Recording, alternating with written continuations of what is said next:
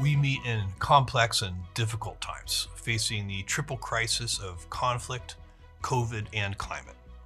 As business and government leaders, how should we approach the current situation? The solar power has fallen 99% since 1979 when President Jimmy Carter installed solar panels on the White House roof for the first time. Innovation, education, entrepreneurship, and better public policy are responsible for these gains. We've been confronting challenges since we've been writing history, and we humans have always found a way to rise above them. Our planet's surface is made of astonishingly thin and fragile layers. I was reminded of this last year when I went into space with Blue Origin. Looking back at Earth from up there, the atmosphere is so obviously thin, the world so finite, and also so beautiful.